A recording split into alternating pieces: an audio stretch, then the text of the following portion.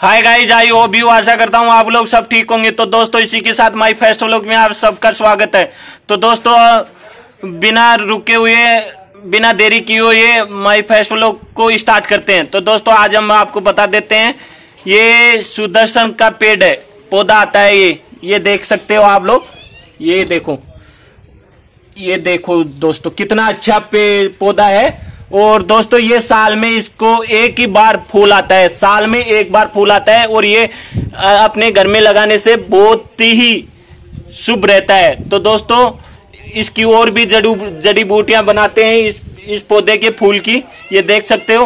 तो दोस्तों, हम अगले वीडियो में आपको बताएँगे नेक्स्ट व्लॉग में। तो दोस्तों, ऐसे ही अमेजिंग वीडियो देखने के लिए चैनल को सब्सक्राइब करें, वीडियो को लाइक, शेयर, कमेंट ज़रूर करें।